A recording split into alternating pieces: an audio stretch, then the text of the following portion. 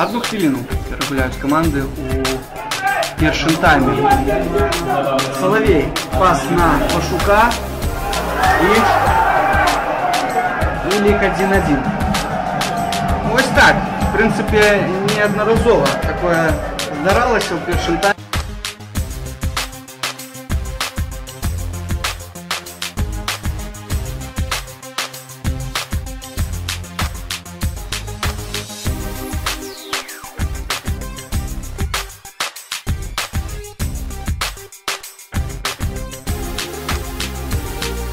Классная передача на выход Квашуку один на один. Обыгрывает Романюка, катит. Гол! Блестящая передача Бабичева на Квашука.